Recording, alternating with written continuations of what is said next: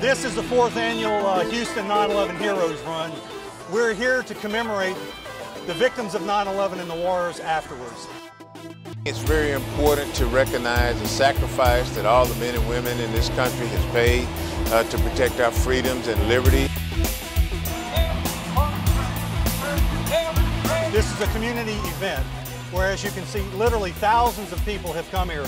Army, Navy, Marine Corps, Coast Guard, Air National Guard, law enforcement agencies from around the nation and state have converged here, remembering the sacrifices, and we're never forgetting what has happened.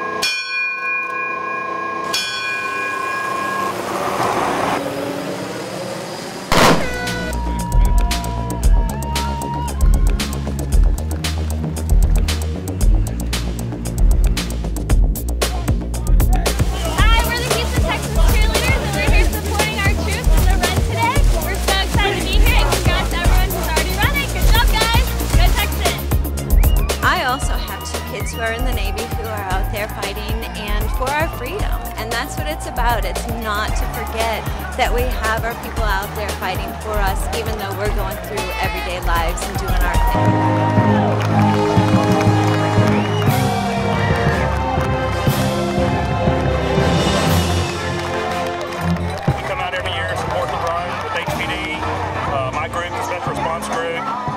Here with the command post, and uh, several of us decided to run in uniform today. I've done this every year.